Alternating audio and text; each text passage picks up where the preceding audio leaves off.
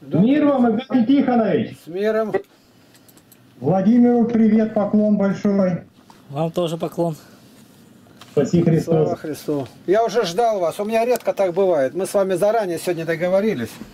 Так, Я все, все везде убрал. Да. Дела, дела свои. Жду тебя. Давай. Что хотел?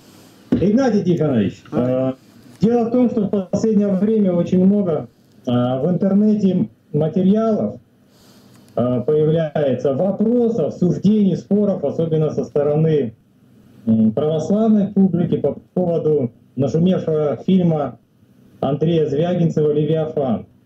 И вот э, хотелось бы услышать ваше мнение, оставив даже пока в стороне, э, собственно говоря, клерикальную тему. По- И вот задам вопрос так, особенно это сейчас актуально на фоне другой темы, событий, которые происходят э, в мусульманском мире по поводу э, карикатуры на пророка, которую не почитают э, святым. Поэтому вот вопрос такой, то, что изображено в этом фильме Андреем Звягинцевым, это карикатура на нашу жизнь, либо все-таки это правда, это действительность? Мне интересно. Утром встаю, 5-7 запросов. И какие? А вот такая-то книга, дайте ваше мнение. Ну, книгу, книга. А в фильмах, фильмов 5-10 иногда накидают. Ваше мнение. Ну, гляну для меня. Но тут это, меня коснулось. Этим левиафаном начали меня кусать уже. Почему молчите? Почему ничего не говорите? Ну, пришлось смотреть. Я бы его не смотрел даже. Первую очередь название меня затронуло. Библейское название, оно почти нигде не употребляется. Но это помогло мне, что я стал вникать во все это. Во все словари полез. Словарь Ньюстрима, Григория Диченко, политический словарь, Википедию всю перемолотил. Что Левиафан означает? Вот я начну немножко с заднего хода. Меня всегда интересует сам, вот Звягинцев Андрей, кто там писал. Вот я стал по- искать, где он интервью дает. Нашел, посмотрел, увидел. Я его даже не знал и не слышал никогда. Но этого маловато показалось. Я стал искать э, не только интервью, а что о нем говорят теперь. Ну, что неверующие говорят, это не на первом плане, а вот верующие. Ну и больше всего меня интересует, конечно, мнение православных людей, которые что-то знают. Я натолкнулся на таких знатоков, я попятился. Нашел одного, сейчас я буду, я выписал все, я думаю, что приготовился неплохо. Э, Ну, как получится. Дело в том, что тема-то не, непростая. Коротко ответить, как я смотрю на самого Звягинцева. Его клеймят, другие восхваляют и противоположное. Вычеркивает его из памяти, чуть ли не фигуру его прокалывает. говорят. Ой-ой-ой. И, и о фильме его. Но одно то, что его там приняли на Западе, это людей волнует. Это там лишь бы нашу э, Русь святую поливали грязью, а там любой тебе золотой глобус, бриллиантовый, ну, где угодно тебя пропустят. Номинанта на самые великие премии Голливуд поставит. Вот. Я начну с малого сейчас. Вот пока придется тебе это подождать меня маленько, я сейчас открою э, моменты, где меня это затронуло особенно. Вот. Э, Левиафан что означает? Я-то по словарям покажу. Вот фильм «Левиафан». Я буду передвигать, ты сам смотри. Э, Ну, несколько ответов. В первую очередь, это некое страшное, большое морское чудовище. И нечто самое большое. В одном словаре, в политическом, говорят, что так называлась машина для промывки шерсти мыльным раствором. Или что-то нечто огромное, Левиафан, допустим, военная промышленность пожирает весь бюджет страны. И Левиафаном называется то, что устрашает людей. Меня интересует, что говорят об этом святые отцы и что говорит Библия. Я в конце покажу. И вот я нахожу не, не одно какое-то свидетельство, а несколько свидетельств. Вот. В первую очередь, на кого ссылаются. Вот я нахожу такого, сейчас найду сейчас. Это речь патриарха о другом совсем. Маленько тут я захватил. Надо было убрать. Вот. Левиафан называется «На смерть Звягинцева». 15 января 15 года Крылов Георгий, протоиерей. Я в конце только сказал, новый Тарквемада, маленький Тарквемада, не для Испании, а для России. Это первый официальный инквизитор в Испании был. 1420 года, он в 798 умер. 12 миллионов на костер взошло. Тут и Гитлер, и все могли позавидовать. Но не, не он один, другие помогали. Вот он пишет, отслужи, по мне, отслужи, я не тот, что умер вчера, из песни Розенбаума Александра. Вчера, он говорит, я развел ритуальный костерок у себя на дворе. Большого костра не потребовалось. Хватило нескольких полешек. Всего четыре диска. Сначала полетел Левиафан, маркер смерти. Вчера посмотрел собрат с Ютуба, записал. За ним остальные. То, что смотрелось и пересматривалось, показывались детям и знакомым, с чем жил. Возвращение, изгнание Елена – то есть то, что Звягинцев Андрей до этого написал. Пробовал смотреть снова. Невозможно. Все фильмы теперь отрыгаются Левиафаном. Это как невозможно читать Пушкина после Гаврилиада или Лескова, прочитав его последние рассказы. К слову сказать, Лескова священники не любят. И главное, внезапно умер, без покаяния берут и то, другое. Одного из самых лучших писателей России – к слову сказать, Ленину, когда принесли на утверждение, попутно скажу, какие памятники ставить, он утвердил Пушкина и всех, кроме Лескова. Одно это уже говорит, что не такой, как все. Р Левиафан, это пишет он, этот, Георгий э, Крылов, вот. Раздавил и Творца его предыдущее творение. Какое отношение предыдущие имеют? У меня это было такое. Когда вернулся из тюрьмы отец Дмитрий Дудко, а его книга о нашем уповании, там, воскресенье, сильные книги были.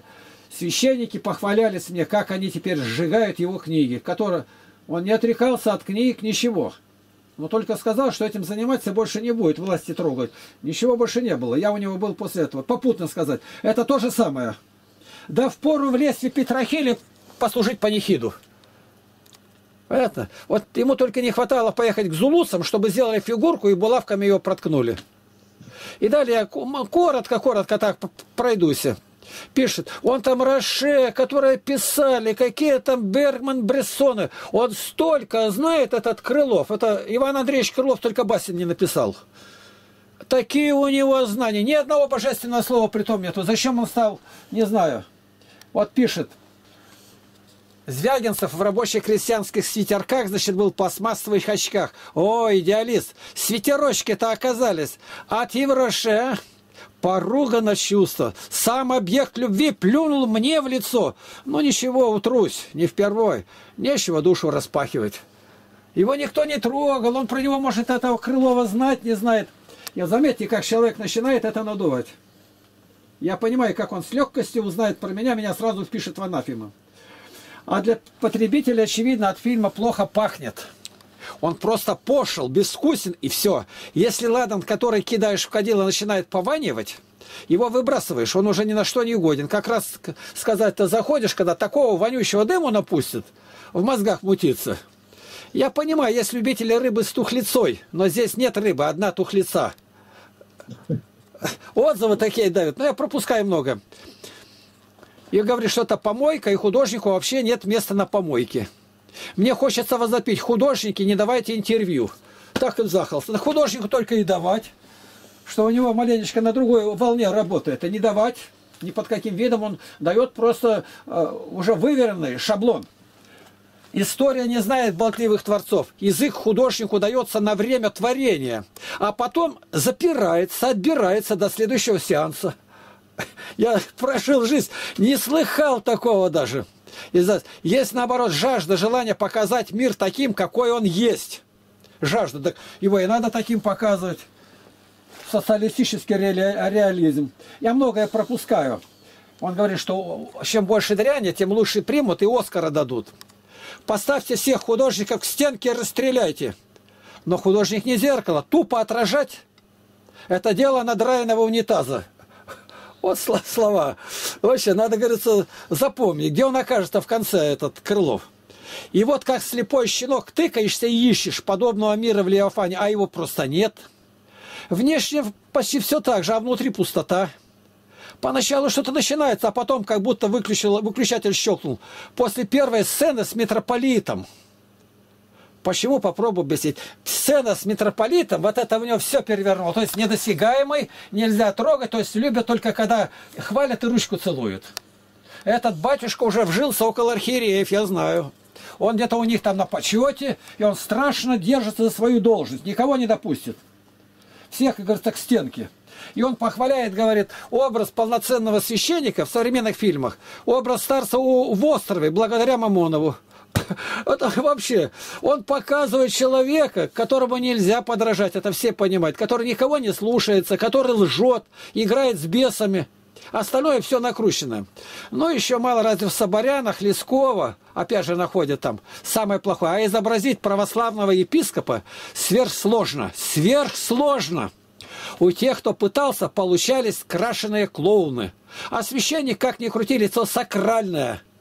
Так он, может, клоун и есть. В советское время зарплата и архиереям везде налоги, вернее, не зарплата, а налоги, шли по артистам. Они причислялись к классу артисты. Э, кто-то же это придумал. Ну, большая так. Даже если убрать бездарную концовку и все сцены с епископом, фильм не живет. Второй раз обращается. То есть самое задело то, что с епископом. Я покажу, а потом начну. Можно подумать, что Звягинцев никогда не жил в России, никогда не общался с епископами, никогда не видел мэров и губернаторов. А мне кажется, видел. Так показать такие слова и как они сидят. Я могу назвать фамилии архиереев, мэров и губернаторов. Но один из них, конечно, в Барнауле был. Епископ Мастендич Антоний. И у меня есть фотография, как они стоят, смеются по-американски, говорит, широко. Мэр города Баварин Владимир Николаевич и тогда был губернатор Коршунов Лев Александрович. Первые двое уже на том свете. Один на машине разбивается, другой 41 год умирает. Архиерея от того с губернатора выдуло. Вот и все. Они заключали там такой союз по борьбе, по-хорошему, за нравственность. С кем заключаете-то? Им это надо? Ну, это для людей. Вот, дальше пишет. Ну, не было в России, никогда не будет подобных взаимоотношений чиновника и обывателя. Да, но другого просто нету. Звягинцев Андрей показал именно так. Но я не буду ссылаться на каких, просто я скажу, что где бы я ни был, я везде видел только то, что Звягинцев показывает. Священники как с народом обращаются, как на них смотрят. Так, и уж тем более фантазии известного авторства, формат взаимоотношений местного архиерея, губернатора, мэра, это похоже на детские страшилки, как рассказы о том, что на Руси по улицам медведи ходят. В каком фантасмагорическом сне привиделось такое сценаристу и режиссеру? Да ничего не привиделось. Он просто зашел и снял в натуре. Но как же можно такое так всему себя обделать? Это он Звягинцу. То есть обделался. Не надо слово это, это говорить, что такое обделался. То есть без подгузников. Автор неоднозначно говорит, такова вся Россия. Как же нужно ненавидеть собственную страну, чтобы так о ней сказать? В этом смысле фильм имеет совсем иной формат. Не тот, который имели предыдущие фильмы Звягинцева. И далее, вернемся назад. Для того, чтобы показать, как оно есть на самом деле, надо знать, как есть на самом деле. Повторяю, Звягинцев знает, о чем показывает. И попутно. Меня спрашивают, ну а вы могли бы поставить фильм? Никогда и никакого. У меня нет никаких талантов. А он поставил талантливо. Какая фигура, за сколько, как. Ну, действительно, фактурный артист это взятый. Это Серебрякова возьми, который главную роль играет. Он около ста уже фильмов озвучил. Нельзя же превращать зрителей в тупое быдло, повторяя набившую оскомины примитив. Во всем виноваты щектовники попы. Именно так и есть. Дороги, ну, нам еще не считали мы у Гоголя. Что главное это? Дороги начальство, чиновники и попы. Это главное. И дальше пишет. И мата раньше у Звягинцева не было. И обнаженки, кстати. А теперь стало все как у всех. Ну, обнаженки там немного. После измены она сидит, там не оделась. А иначе бы Голливуд и не, не принял ее. У них это обязательно, чтобы где-то что-то было. Но мы-то... Это не, за, не заказной религиозный фильм-то. Это же не пророк Иеремия, не Исфирь. Ну, надо помнить, что это люди мира. И дальше пишет, крупно показывая, время отпевать. То есть у батюшки, смотри, он как, он просто отпевает. Это явно, что идет уже по признаку дикарей. В данном случае произошло поругание таинства. Какое он таинство нашел? А это всегда кощунство, профанация сакрального. Это вино для, это кино для него сакральное. Он все перепутал поповское, церковное, алтарное перенес на картину. И за этим всегда стоит личное человеческое падение. Какое падение? Он может неверующий. Ну, нигде никакой безнравственности в самом себе автор не показал. Но неужели можно представить большую трагедию? Это вообще. Я выгнал Звягинцева из своего мира. В моем мире нет ни Звягинцев, ни Кураевых, ни еще очень многих, чьи имена я забыл или не знал. Это говорит священник, который будет у алтаря, у престола поднимать руки кверху. Да ты его попробуй попроси молиться за Обаму, за Порошинку Петра, э, за Владимира Путина, за Горбачева Михаила. Но будет ли он молиться, я еще раз скажу, за Немзорова Александра Глебовича. Если Кураева мнигом-то сказали ату и сразу. И пишет дальше, что ребенок э, закрывается ладошками, и за ладошками ребенка живет Бог. От скверного закрыться. А открой ладошки, папин ремен, не надо бить ребенка. Мальчик, не открывай ладошки, этим закончил. Вот это я наткнулся, и меня, собственно, туда другой подвигнул. А, был такой, или есть монах Диодор Ларионов. И вот отклик монаха Диодора э, Ларионова. Тут я побольше просчитаю. Скажу, что я на этой стороне стою. Надо сказать, что о Левофане Звягинцев я узнал из рецензий в интернете, которые в последнюю неделю стали расти в геометрической прогрессии. Причем одни авторы превозносили фильм до небес, а другие проклинали. При этом бросается в глаза, насколько сильно обострились чувства у людей со специфически, в кавычках, патриотическим сознанием. Снова это ощущение обиды, плевка в душу, ощущение, что наврали о христианстве, оболгали родину, ее и так поносят и хотят топтать в грязь, а тут еще это злосчастное кино. Говорили также о заказном характере фильма о его нацеленности на западную аудиторию, ожидающую хорошее, в кавычках, кино о плохой России. Плохой тоже в кавычках. Но когда два дня назад появился отзыв протеерея Георгия Крылова на сайте богослов.ру, богослов.ру, в котором автор сжигал не только диски с фильмами и самого режиссера, но и всю русскую литературу заодно, а потом постепенно перешел на язык неконтролируемого потока сознания. Так что я даже усомнился в здравии психологической вменяемости отца протеерея вследствие пережитого стресса от просмотра фильма и тогда я понял, надо смотреть. Что значит грамотные люди, как говорят. Фильм начинается со сцен неописуемо красивой природы и захватывает с первых кадров. Остатки брошенных судов на берегу соседствуют с величественным скелетом кита, когда-то выброшенным на берег, и полуразвалившиеся пятиэтажки с непоколебимой и словно бы не подвержены тлению северной природы, скалами и заливами, прибрежными насыпями и вечным северным морем когда нет претензии позирования перед публикой, когда художник не выдает свой стиль за язык бытия, а позволяет бытию говорить на его собственном языке, тогда зритель откликается не на какие-то надуманные теории и идеи автора, а встречается с самой действительностью. И всякий раз такая встреча происходит у каждого человека по-своему. Да он ругается, это на букву это два, Б два раза сказали, то там ничего нету. Я бы тоже поверил Крылову-то, Георгию-то, но пришлось смотреть. И дальше мне это напомнило точно такое же ощущение в книге «Море-море» Айрес Мердок. Когда в середине фильма в одном из кульминационных моментов главная героиня, решившаяся на отчаянный поступок, приходит на берег, на фоне ее лица, показано крупным планом, в море выныривает и плещется огромный кит, который, несомненно, символизирует Левиафана. Морской кит, напоминающий о чудовище Левиафане, как символ, отражает внутреннее воздействие Левиафана, невидимого, выбирающего жертву по собственной прихоти. Вот, к слову сказать, Левиафаном считает или это крокодил, или кит, или некое большое морское чудовище. Иногда даже с космоса видно, какой он там чуть не в километр длиной. Но в словарях везде больше складывается мнение о ките, потому что говорится о море, а крокодил в море не живет.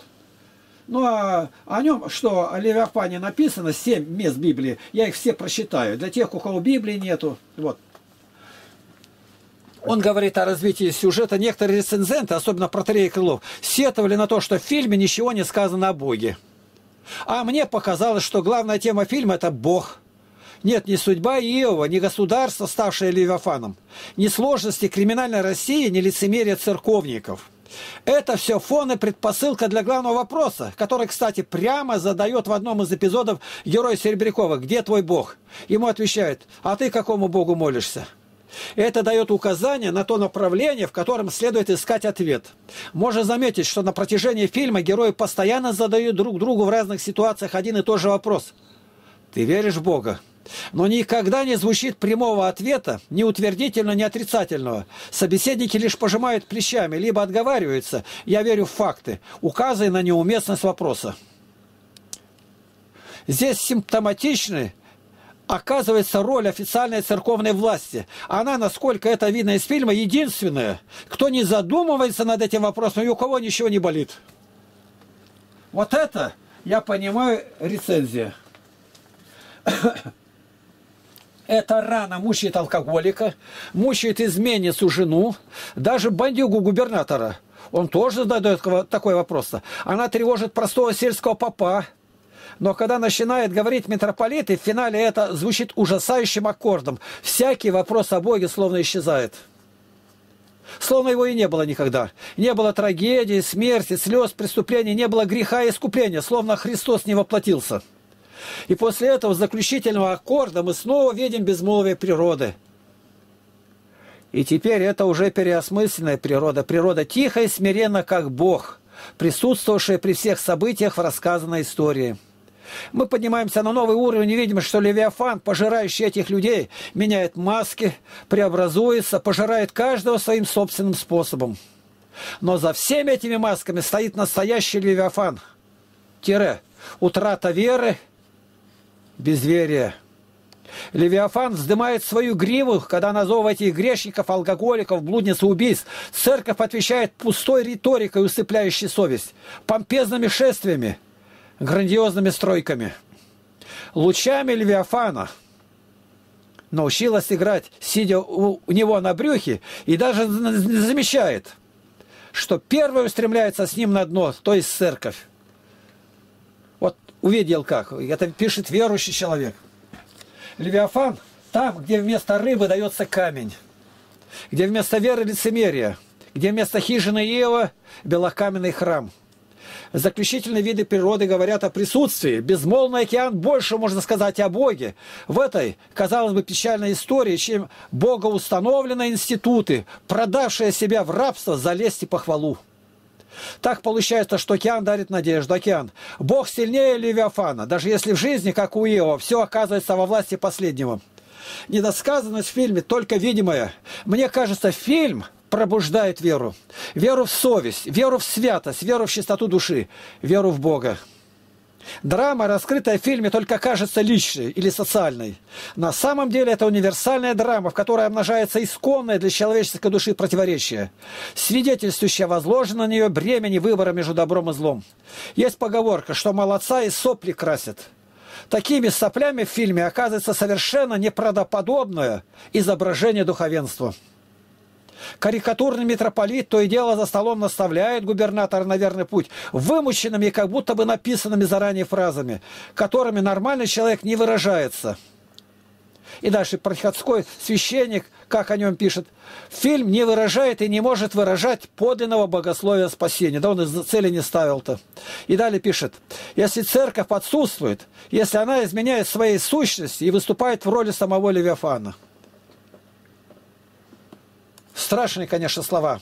История бесконечно повторяется. Именно церковь в лице своих служителей снова и снова предает и распинает Христа. Режиссер всеми возможными средствами пытается лишь указать на то, что эта проблема актуальна и современна. Еще хочу сказать, что многие рецензенты писали о различных нестыковках в сюжете, о нелепом поведении героев, о несовпадении с книгой Иова и, думаю, другими библейскими персонажами, об искажении российской действительности, церковной действительности и прочее. И он все это оставляет за скобками. Тот, тому, кто не смотрел фильм, советую никого не слушать, не читать возмущенные отповеди и рецензии, дышащих праведным гневом и обидой на затронутые святые чувства, и обязательно посмотреть. После просмотра становится абсолютно ясно, что режиссер не рассчитывал ни на какие награды, а спокойно снимал то, что ему важно, и рассказывал о том, что для него дорого. В фильме «Звягинство» нет никакой обиды для России, потому что показанная действительность, хотя она может быть и утрирована в некоторых моментах-то, касается не России, она касается всякого человека, независимо от национальности и проживания. Это честный и ответственный фильм о Боге и вере. Это фильм о духовной реальности и о том, в каком отношении к этой реальности находится современный человек. Я беру да. Левиафан, словарь Ожегова. О ком-то и чем-нибудь поражающим своими размерами силой по имени библейского морского чудовища. Понимаете, что это кит или крокодил? Это Ожегов. Я называл какие словари, просмотрел все, ответ один. Ну, пусть не сочтут это за тяготу, я прочитаю, здесь три стихотворения своих взял, написанные а, от 5 до 10 лет назад, где упоминается Левиафан. Это начинается уже мое мнение, я два отзыва дал разных. В этом будет смысл, потом туда я подойду. Надо смотреть будет. Жить 40 лет изгнанником в пустыне – помилуйте, а как же дети, внуки, скот? Любая пища может опостылить, как редко перепелок нанесет. Так день за днем безделье одолело ни огорода, ни садов, ни дач. За безнадежностью зимы пустое лето, какое сердце выдержит тот плач? А семьдесят в безбожном катафалке хвалился пустотою СССР – и тьма египетская, возгордясь, восстала. С библейской историей все, сверь как к одному один распорядилась, истории которой Бог начальник, таких же понаперло крокодилов, рабы не мы десятки лет мычали. Убийцы и разбойники родили антивласть, устроили духовную в России Хиросиму. Но истина подпольно молилась, не сдалась, у кровожадных милость не просила. Враг в храмах посадил своих сатрапов, все золотил, бездуще насаждая – прет на закон божественный нахрапом, наглеет зло, вертясь между жидами. Для усмирения Бог шлет на перековку, гнетет змеиной сворой фараона. На дне морском с врагами рокировку семейных Иеговы и Левиафан не тронет.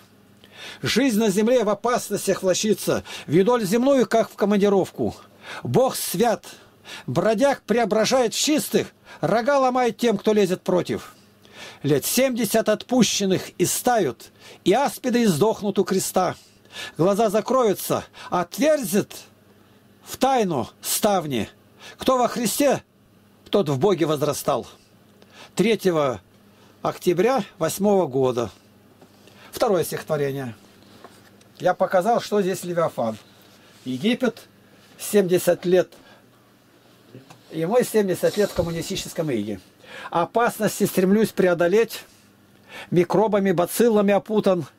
Еще с отцом и некому жалеть, и неизвестно, сколько было суток.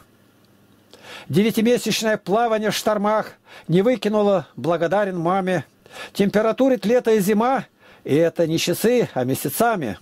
Зверье и гады, птицы, машкара во мне узрели хищника, убийцу. Для них укрыться гнезда и нора, а мне, как человеку, где укрыться? Для них подножный и надежный корм, решаются вопросы перелетом, а мне в мой дом под поднятый топор перебираю бедствия по щеткам. Сидеют мудрецы, изобретая оружие, орудие, кончину.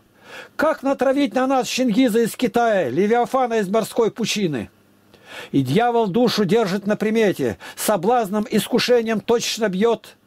Невыносимый мрак на белом свете, яд подсыпается в прогорклый мед опасности в знакомствах и в пустыне, опасность одиноким и в семье, то горечь чернобыльской полыни, то в трезвости при горшищем вине.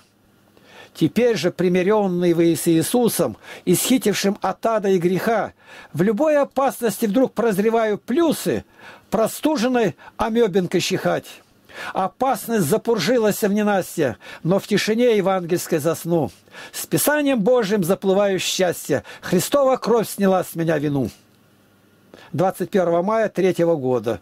То есть я показываю, что вся эта жизнь для меня под прицелом Левиафана. И все-таки я доплыву, и ничего он мне не сделает. Дальше. Третье. Расстрельщики России, палачи.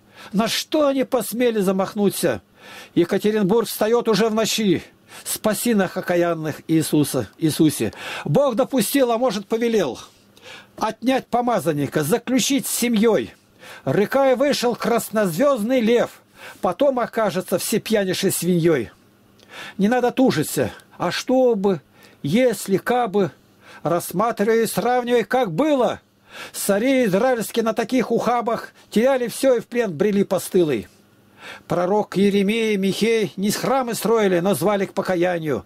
Аман на виселице, а не Мардахей. Премудрость Божия оправдана Писанием. Кронштадтский Ан громил Толстого. Саровский Серафим скрывался в келье. Народ зверел, не слыша Божье слово, и недуховные по пьянке песни пели. Здесь умница епископ Феофан в придуманном затворе затаился. Народ в, закл... в заглот хватал Левиафан.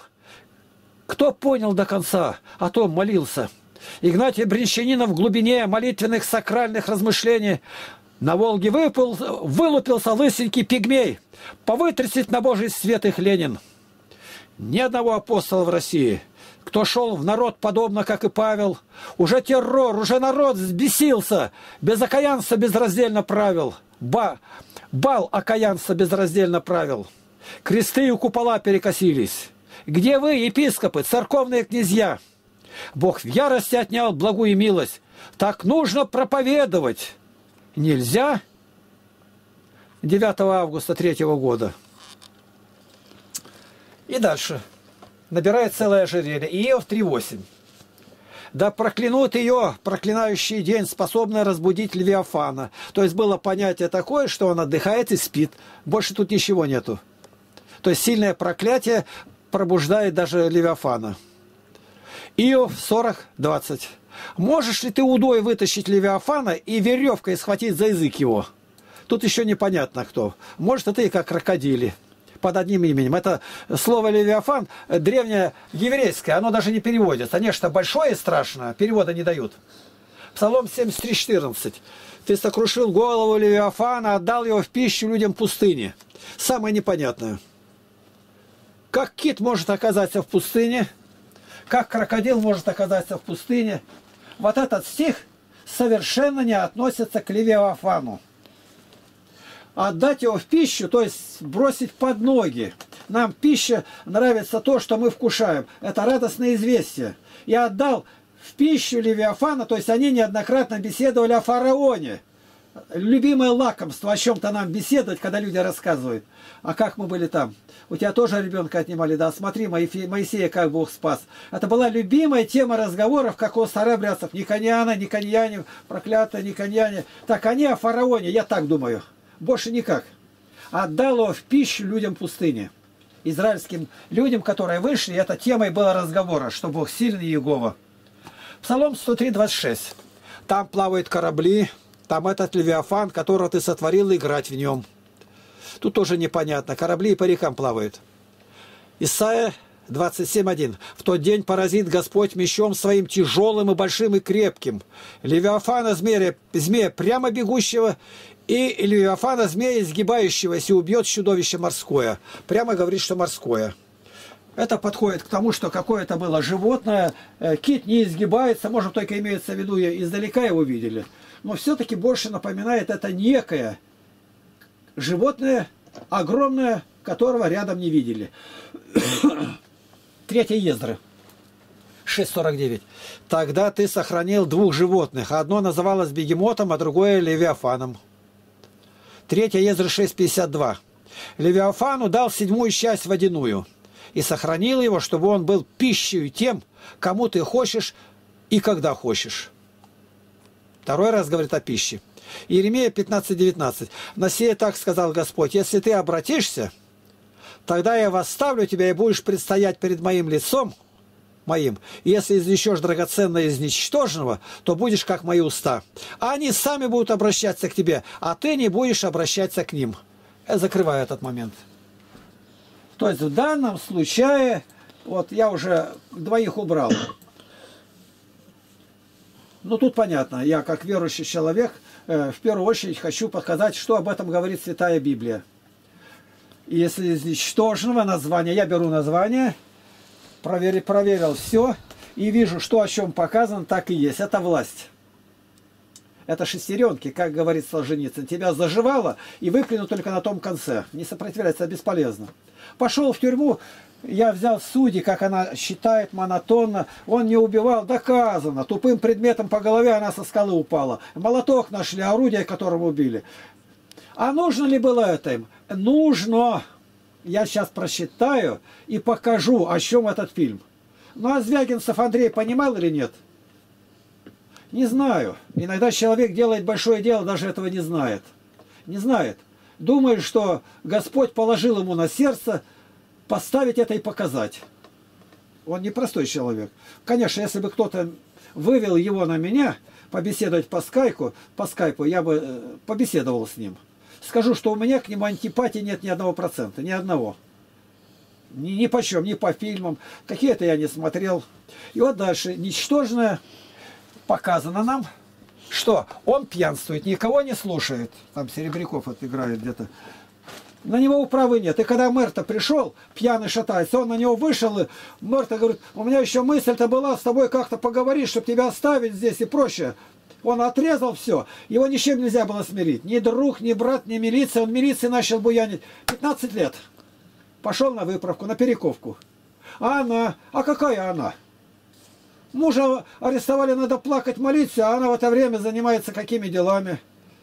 А потом еще и сын все это узнал они неисправимы. И Бог показывает, одна совсем неисправимая пошла сразу самоубийца, а ему на 15 лет. А сынишка вообще никого не слушался, а теперь никого нету, и посторонние люди показывают доброту, его забирают. Так что все предыдущее шло к концовке, и правильно от Бога это было. Бог нас скручивает, смиряет, как э, в пословице говорится, у Бога на каждого хорошая дубина, на этих парней. Иеремия 15.1 я многовато здесь скажу, но это того стоит.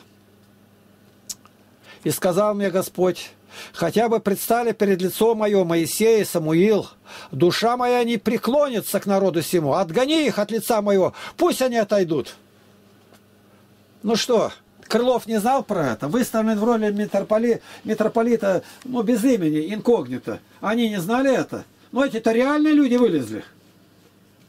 И они молятся, святых, ну, допустим, пристали Серафим Саровский, Анкронштадтский, Матрона. Отгони их от меня, говорит Господь.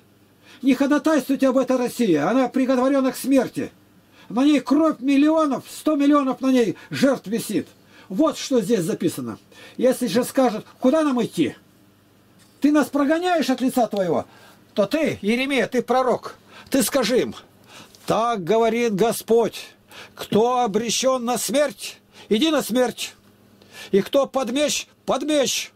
И кто на голод, на голод. И кто в плен, в плен. Это Бог любящий, ему имя любовь. Не надо играть с Богом. Бог определил России участь, она разнаряжена, и нельзя приостановить ничем. Он просто показал, может кто-то раскается. Это мирской фильм. Но ему никогда уже не поставить фильм Еремия. И с него никто и не требует, повторяю. Вот, который надо Голливуду на, фильм это. Иуда Бенгур, Кама Гридеша, где там Петя Рустинов играет. Третий. «И пошлю на них четыре рода казней, говорит Господь, меч, чтобы убивать, и псов, чтобы терзать, и птиц небесных, и зверей полевых, чтобы пожирать и истреблять. И отдам их на озлобление всем царствам земли за монастью сына Изеки, царя Иудейского, то есть за Сталина, за то, что он сделал в Иерусалиме, за Ленина. Ибо кто пожалеет о тебе, Иерусалим, Москва?» И кто окажет сострадание к тебе? И кто зайдет к тебе спросить о твоем благосостоянии? Ты оставил меня, говорит Господь, отступил назад, поэтому я простру на тебя руку мою и погублю тебя. Я устал миловать. Какие страшные слова. Бог устал миловать, а то Бог ненавидит грех, а грешника любит. Нигде о грехе нету речи, речь идет о грешниках. Это сектантское суемудрие. У американцев здесь все будет хорошо, все будет хорошо. Никогда эти слова не говорите. Мы не знаем, будет ли хорошо. Я развею, развиваю их веялом за ворота земли, лишаю их детей, гублю народ мой, но они не возвращаются с путей своих. А то пишет Архимандрит, Бог никого не наказывает. Никого не наказывает. Нет, это люди себя грехом наказывают. Прямо написано. Вдовых у меня более, нежели песку в море. Наведу на них на мать, юноши, опустошителя в полдень. Нападет на них внезапно страх и ужас. Лежит в изнеможении, родившая семерых, испускает дыхание свое, еще днем закатилось солнце ее, она постыжена и пострамлена. И остаток их предам мечу перед глазами врагов, говорит Господь. И Китай, и Украина, и мусульмане все в один день могут пойти. Фильм как раз об этом говорит. Так жить нельзя. Он взял с натуры. Нельзя. Вот он приезжает, хороший, будто адвокат. И дальше что обнаруживается? Что дальше-то из него полезло-то?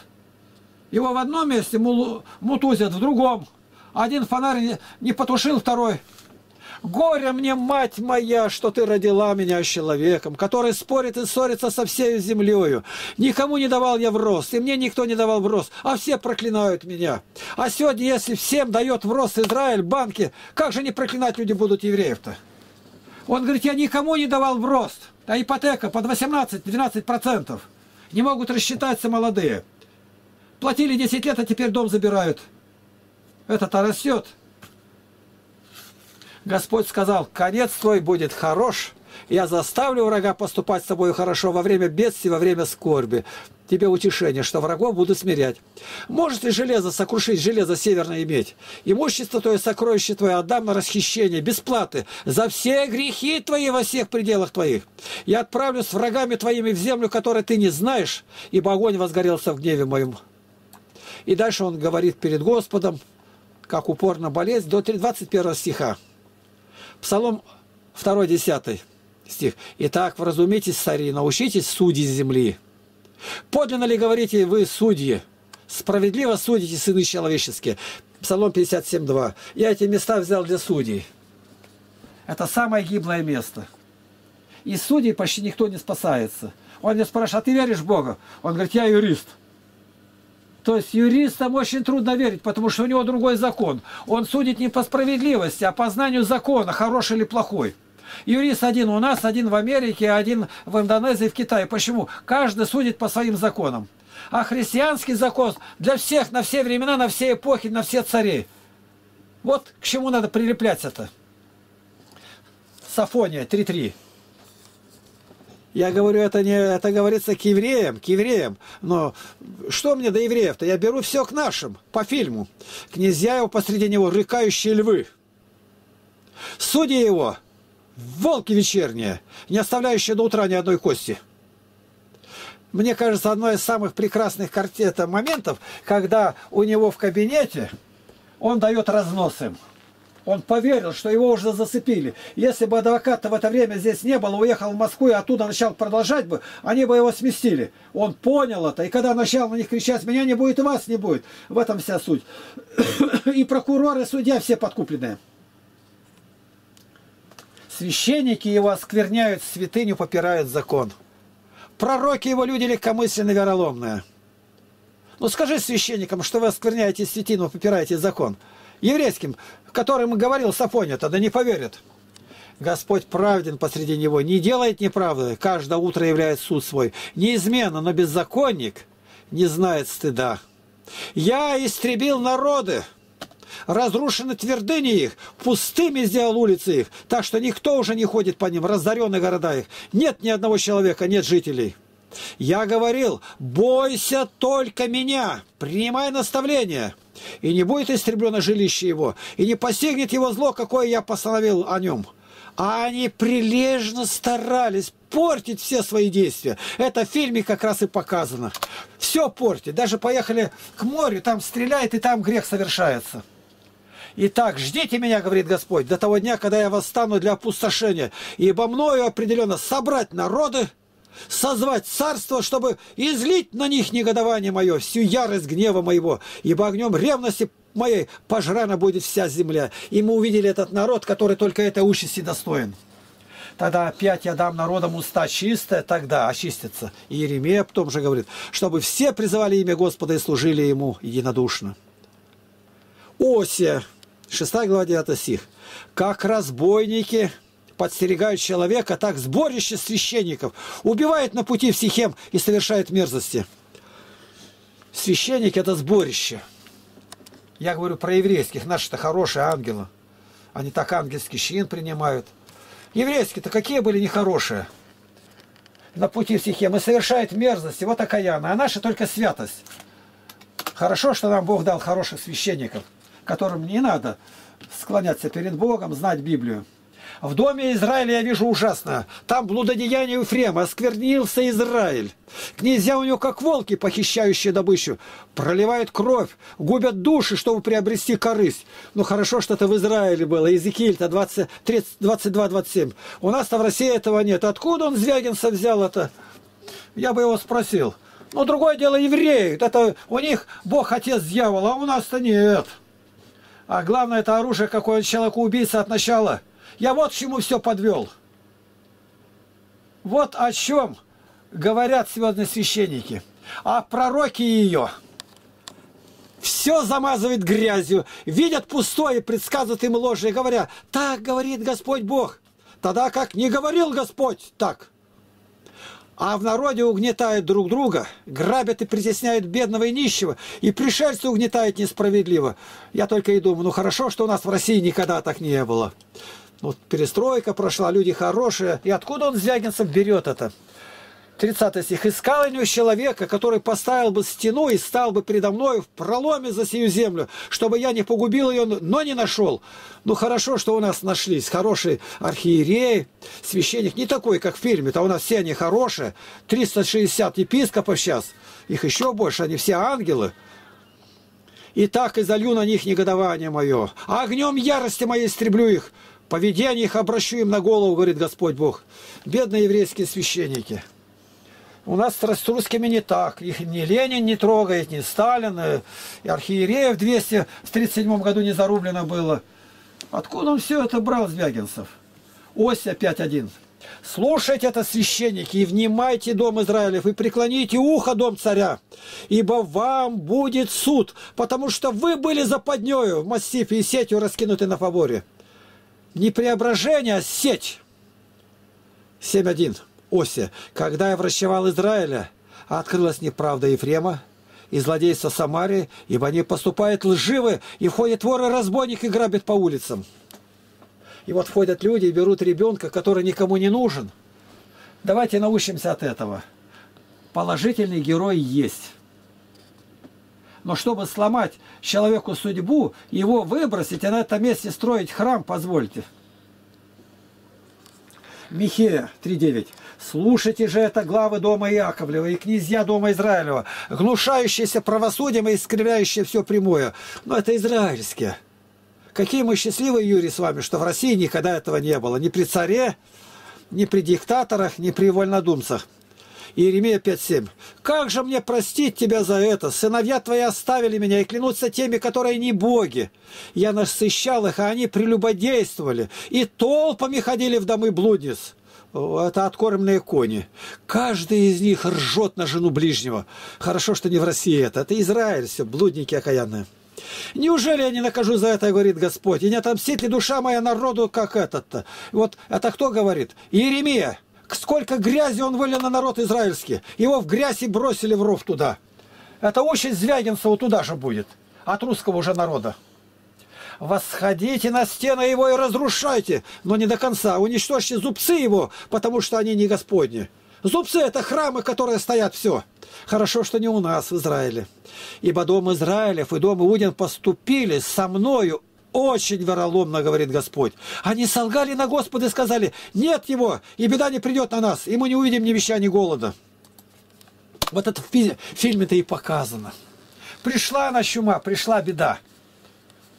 Иезекииля 16.25.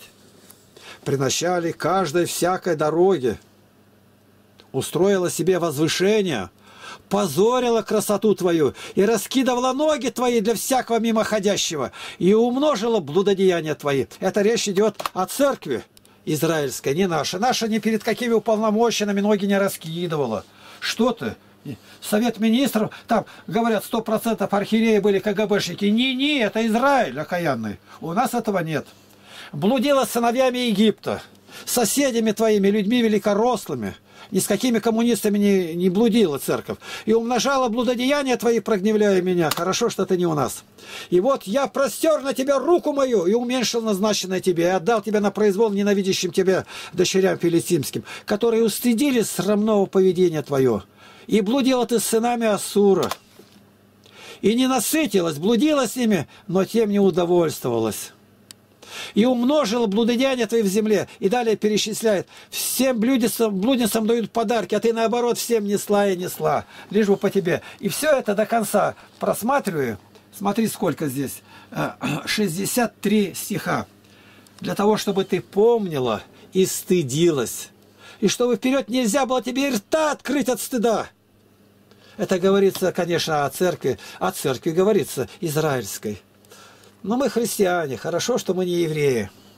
А то бы подумали люди, что у нас такое. Ио 12.25. Ощупь уходят они во тьме, без света, и шатаются, как пьяно. Я о пьяницах. Притча 23.21. Потому что пьяницы и пресыщающиеся обеднеют, сонливое соденет в рубище. Еще лучше. Это евреи пьянствуют. А мне еврейка одна и говорит, вы хоть раз видели, вот лежит мужчина, и сфотографировали э, на остановке, под скамейкой, из-под него лужа течет. Вы хоть одного еврея видели? Не видел. Вот так. А вы хоть одного еврея знаете за 2000 лет неграмота? Я говорю, не знаю. Ну вот и все. Потому что они любят своих детей, любят свой народ. У них большая цель. Исайя 19.14. Господь послал в него дух опьянения, без водки. И они ввели Египет в заблуждение во всех делах его, подобно тому, как пьяный бродит по блевотине своей. Шатается земля, как пьяный, и качается, как колыбель, и беззаконие тяготеет на ней, она упадет, уже не встанет. Да вы посмотрите по статистике, больше нас кто пьет? Может быть, на Украине? Только. Где больше абортов делают? Около 20 тысяч ежедневно. Мне дали статистику, я не поверил. За годы 20 лет перестройки вместе 120 миллионов абортов. Это государство европейское. Так фильм-то о чем говорит? И она тоже ему говорит, сблудила, даже трусишки не надела. И муж еще сидит в каталажке, она уже с этим готова убежать. Ее-то кто воспитывал-то? Какое поколение? Исайя 29, изумляйтесь и дивитесь. Они ослепили друг других и сами ослепли. Они пьяны, но не от вина, шатаются, но не от секеры. Конечно, это к священникам никак нашим не относится. Они трезвенники, пьяных нет. И то, что патриарх Алексей II специально просил профессора Новосибирской академии Жданова Владимира Георгиевича президента международной антиалкогольной компании какой-то там, считать лекции спившимся попам. Он, видимо, ошибся. Он не знал это. Иеремия 13.13. 13. А ты скажи им, так говорит Господь, вот я наполню вином до опьянения всех напою. И наполню вином до опьянения всех жителей всей земли и царей, сидящих на престоле Давида, и священников, и пророков, и всех жителей Иерусалима. 25-27. И скажи им, так говорит Господь Савова Бог Израилев, пейте и опьянейте, и изрыгните, и падите, и не вставайте при виде меча, который я на вас. На другой участи России нету. Фильм Звягинства Андрея как, как раз и говорит, опомнитесь, люди. Вот он снял маленький, снял маленький ареал, ну, не считая приезжего из Москвы. Ну, это ну, одна область. Сколько у нас областей? Да в каждом районе начни снимать, и фильм получится только такой, не другой, еще похлеще еще там убийство будет, еще только не будет. Эти как-то побили этого адвоката и остались живых. Я в это не верю. Это он э, сгладил.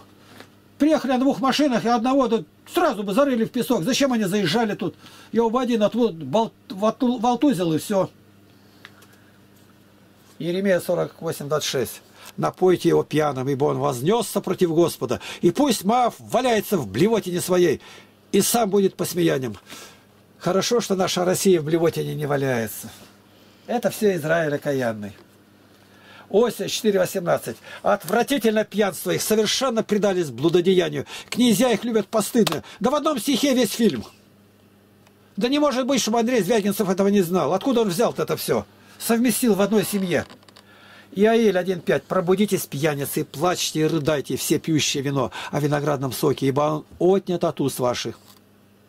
И Авакум 2.15. Горе тебе, который подаешь ближнему твоему питье с примесью злобы твоей и делаешь его пьяным, чтобы видеть срамоту его. И вот мы считали впереди. Что он там, Крылов, говорит? Как? Вычеркивает из памяти, из списка, он молиться уже не будет. И вот это как раз и говорится. Вся срамота видна. Матфея 24.49. И начнет бить товарищей своих, и есть, и пить с пьяницами. Не знают они это? Ну, по-моему, это уже к Новому Завету. Ну, наверное, тысячи лет в России не было, это на первое тысячелетие отнесем. Там гуляли, пили. Лука 21.34. Смотрите за собой, чтобы сердца ваши не отягчались объедением. Хорошо, у нас ни один поп не обидается. И пьянством ни одного пьяницы нету. И заботами житейскими. И чтобы день тот не постиг вас внезапно. 1 Коринфянам 6.10. «Ни воры, ни лихаимцы, ни пьяницы, ни злоречивые, ни хищники Царство Божие не наследуют».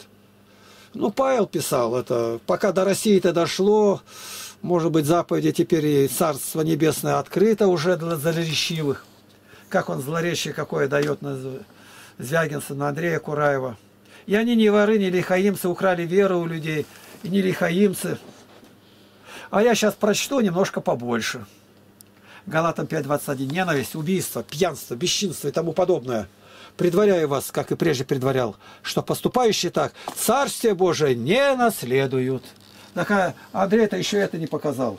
Он еще этого как будто бы, ну, будем надеяться, что э, Левофан еще что-то даст. И вот теперь послушай. Смотри внимательно. Я это э, э, прочитаю, а Володя заснимет из речей патриарха Алексея II Ридигера. Открываются кавычки. Сейчас крестится много взрослых. Им необходимо создать все условия, чтобы это таинство совершалось в соответствии с апостольскими правилами, через полное погружение. Я теперь ссылаюсь на Филарета, на... мне говорят, а зачем ты? И при том слово крестить это все равно, что э, скамейка там какая-то, постель. То есть такую гонят беду. Это ужасно. То есть я, что выставляю материал о крещении, насмехается. Ну ладно, что не священники, еще там какие-то неграмотные миряне. Патриарх говорит, прошло полтора года с того момента, как я обращался к духовенству. Но, к сожалению, положение не изменяется к лучшему. Придется, видимо, в дальнейшем разрешать крещение взрослых только в тех церквах, в которых имеются баптистерии, чтобы не вызывать нарекания среди верующих, которые считают это строго необходимым. А где не считают совсем невежда, там можно не делать. Ты слышишь, какая кривая речь? Также многие, 98% священнослужители словно не слышали нашего предупреждения. Прежде должна быть катехизация – что она должна совершаться благоговейно и спешно. Но поступающие жалобы свидетельствуют о том, что крещение совершается небрежно, поспешно, сокращаются часто, причем сакраментальные его счастье. Все чаще стали слышаться нарекания по поводу вымогательств, то есть назначения цен за совершение треб. Вот Звягинцев-то еще про это не знает. Он таких хороших священников вывел. А патриарх, зачем он говорит открыто это? Такой священник, позор для храма. Священник требует особой платы даже за крещение, венчание, отпевание. Они тоже схитрили. Добровольное пожертвование, ценник убрали. Но цену повысили еще полтора раза. Это уже настоящая симония. И к таким священникам мы вынуждены будем принимать меры канонического порядка. Повторяя, сие слова принадлежат патриарху Алексею II, которого тут же хотели канонизировать. Больше всего поступает жалоб и прошения о приведении в каноническое соответствие совершения православных тайн и треп. В первую очередь это крещение, совершаемое порой обливанием одной и только головы окрещаемого, вместо полного погружения. Это 98% священников сегодня этого не делают. В некоторых храмах сооружены баптистерии для крещения детей и взрослых. Но ряд храмов с этим не торопятся. Считаю, что не следует в таких храмах крестить взрослых, а для катехизации направить их в тот храм, где есть баптистерия. То есть этот не делает, пусть не делает. Ну ладно, учеников в другую школу направим, а этот пусть сидит с пустыми партами. Ну куда это годится? Священнослужитель во всем должен быть примером для своей паствы. Я уверен, что кто пришел в церковь не ради прибытка, а ради служения Богу, останется. Многих же мы потеряли, как уже теряем и сейчас. Кавычки закрытые. Откуда взято? Официальная хроника названия Московской Патриархии, номер 2, 1993 год, страница 18, это номер 1, 3, 94 год, страница 34-38. Изречено на Московском Епархиальном собрании. И далее он говорит, кавычки, каких бандитов напринимали в церковь? Это не моя характеристика. Ну, наверное, патриарх что-то знает больше – я говорю, все эти подобные высказывания патриарха о крещении совершенно верны по содержанию. Есть, по сути, ничто иное, как некая реабилитация самого себя в глазах народа. Он как бы говорит, смотрите, я же учу, я их обличаю беззаконников, а они ничего не хотят делать. Я это говорил 10-15 лет назад. Но у патриарха огромная власть. И он мог бы в течение всего лишь одного месяца навести порядок в уверенных ему делах. Если он, патриарх, сам обливанец, как и многие, почти все архиереи, священники, выходцы из Беларуси и Украины, то ничто не препятствует им всем сегодня же найти опытного духовника, духовного священника, правильно с троекратным погружением крещенного – с и упросить его, чтобы он окрестил всех обливанцев, начиная с патриарха, всех архиереев и священников. Совершилось бы настоящее крещение Руси. Образовались бы общины, живые братства, отделение от мира и возрождение духовной и могучей России.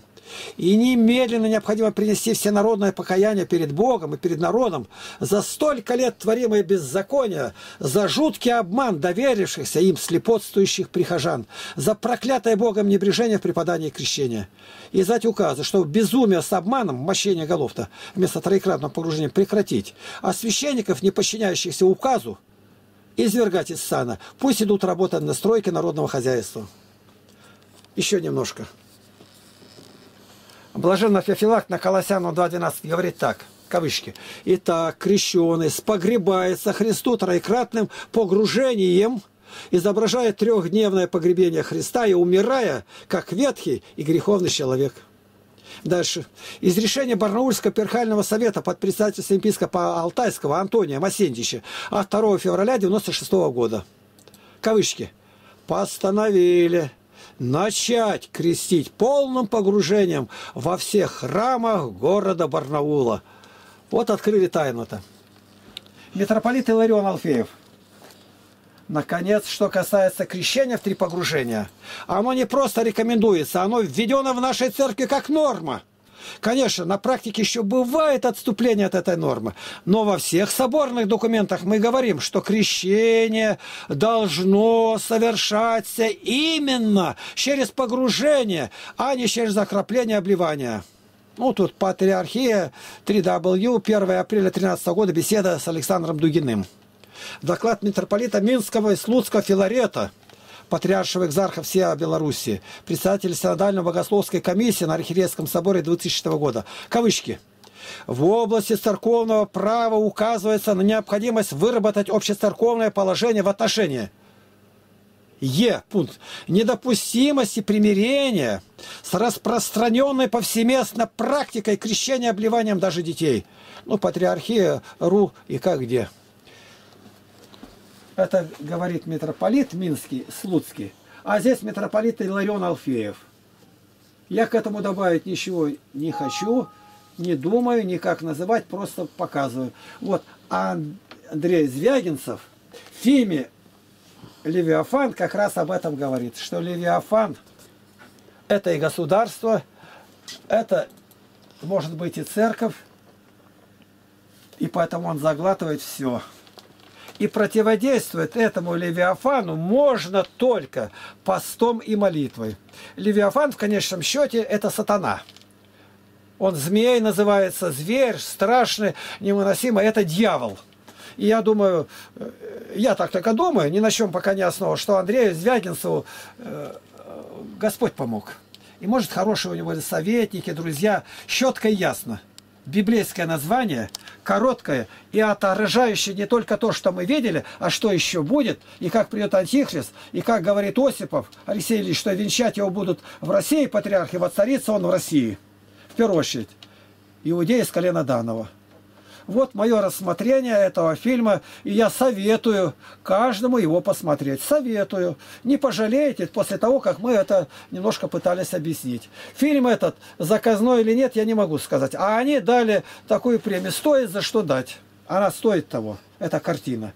Ну, а которые обозлились ну пусть одумаются, пересмотрят свое мнение. Я могу обратиться ко всем, там, Крылов, там кто говорил. Ну, ну задумайтесь просто.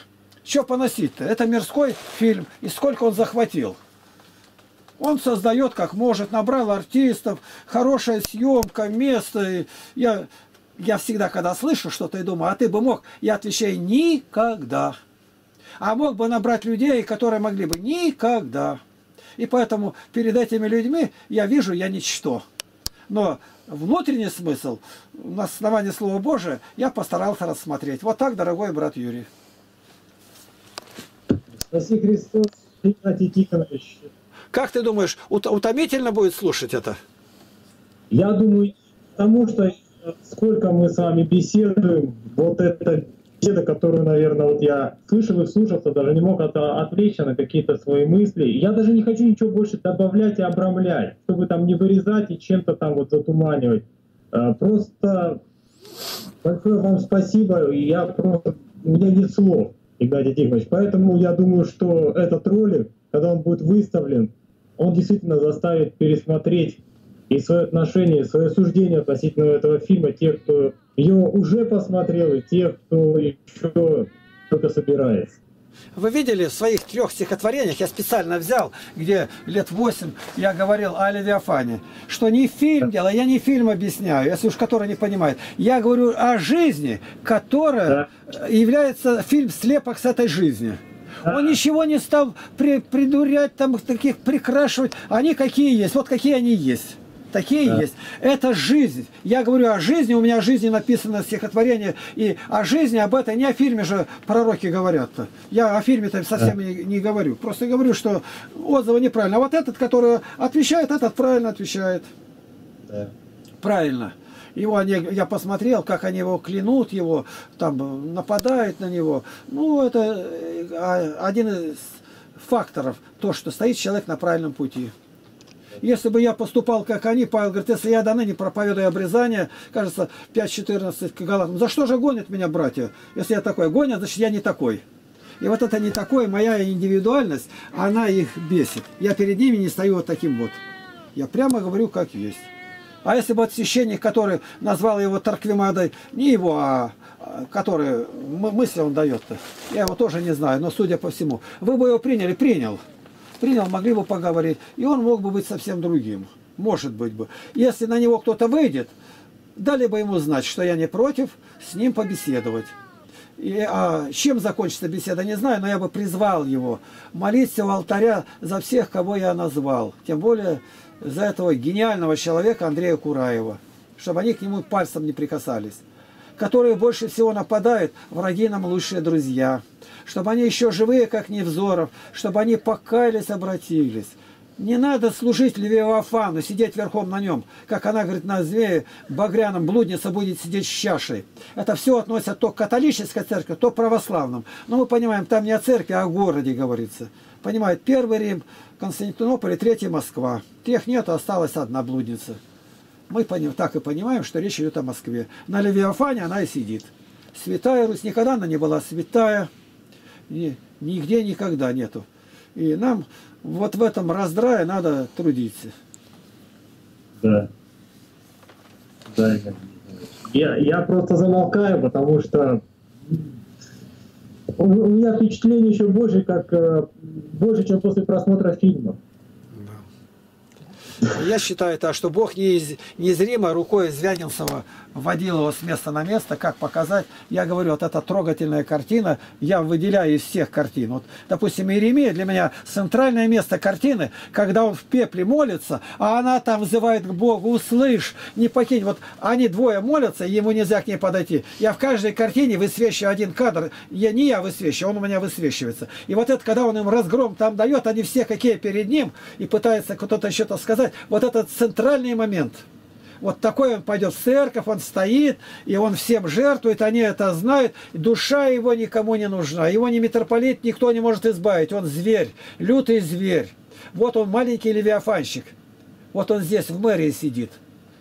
Вот. Я не знаю, какие здесь, о ком говорил он там. Но это абсолютное большинство. Их и пристреливают в Москве, как кажется, Цветков, там где-то э, с Анадыре прилетел, тот, губернатор, его расстреляли прямо в Москве, недалеко от Лубянки.